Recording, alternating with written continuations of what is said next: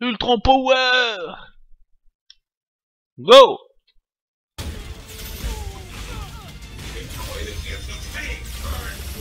Ah oui.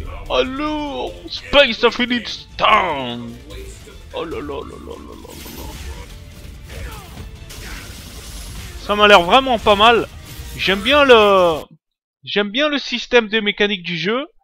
Bon après je dois t'avouer que ça me fait un peu peur qu'ils ont casualisé un peu de jeu. Mais euh, si c'est pour le rendre plus fun, pas forcément plus accessible, j'espère qu'il y aura quand même de la difficulté par rapport au, au combo qu'il y en aura qui sont plus dévastateurs, mais qu'il faudra taffer le jeu et le creuser pour comprendre bien les mécaniques de jeu. Euh, moi, pour le moment, je trouve que euh, je commence à avoir la hype de jour en jour. Hein. Septembre, ça va passer vite, hein.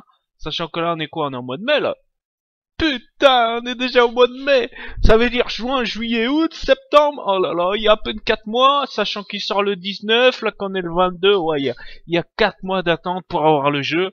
Euh, je commence à avoir la hype. Je pense que dans ma team, il y aura soit Venom, s'il y est, j'espère. Hein. Le grand absent de UMVC3, c'était Venom. Euh, Il y a beaucoup de joueurs qui sont pleins qu'il n'y était pas. Je pense que ça sera la grosse surprise sur ce cast. Ils vont peut-être même mettre le mettre en DLC, ces petits coquinous. Tu vois ce que je veux dire? C'est, vous l'avez tant attendu, nous vous le balançons en DLC. Ça m'étonnerait pas, euh, parce que je pense que le cast sera de 28. Euh... Bon, après c'est que des rumeurs, hein. Mais apparemment il y aura un, un roster de 28 personnages jouables.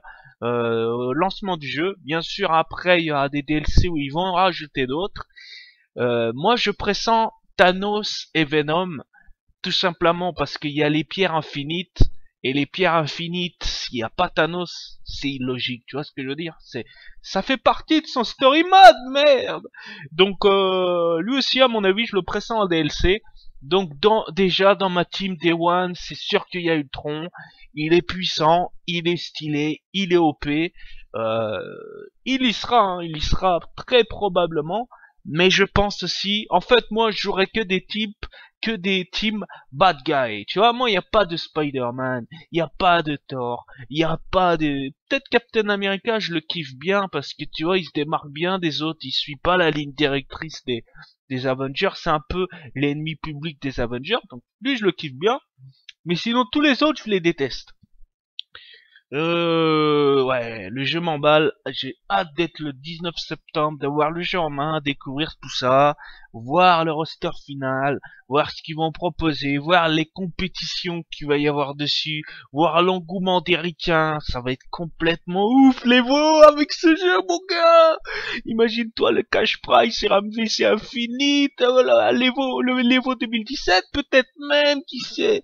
Oh là là là. Ah mais non, mais attends, est-ce qu'il sera jouable à l'Evo 2017 puisque l'Evo il est en quoi? Il est au mois de juillet, non? Oh putain, je sais pas si puisqu'il sort en septembre, ça sera peut-être trop tard, mais qui dit, ça se trouve, ils auront la version bêta du jeu et qu'ils vont quand même faire un tournoi. Bref, vivement qu'il sort, j'en attends quand même du positif du jeu.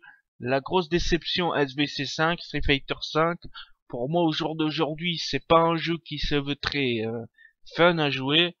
J'espère beaucoup que Marvel vs Capcom Infinite va se jouer sur le long terme, qu'il aura une bonne durée de vie, qu'il va pas lasser ses joueurs, qu'il va pas sortir trop tôt, parce que euh, quand un jeu sort trop tôt, prématuré, ça annonce mauvais présage pour l'avenir. Là, je préfère qu'ils prennent du temps, qu'ils peaufinent le jeu, pour qu'ensuite le joueur soit satisfait. Si votre jeu n'est pas prêt en septembre, on vous, vous en voudra pas si en 2018 il déchire sa mère, on vous pardonnera le retard. Tu vois ce que je veux dire? Sur ce, à plus tard. Et faites pas la même erreur que Street Fighter 5. Thank you very much. Surtout pas